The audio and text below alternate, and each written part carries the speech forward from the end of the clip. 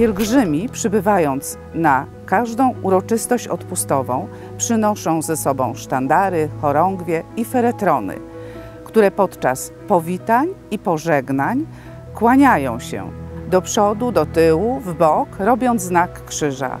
Jest to zajęcie bardzo wymagające, wymaga wielkiego wysiłku, doświadczenia i wielu ćwiczeń, ale jest też ogromną satysfakcją, że właśnie tym głębokim pokłonem możemy oddać hołd, wyznaczając znak krzyża.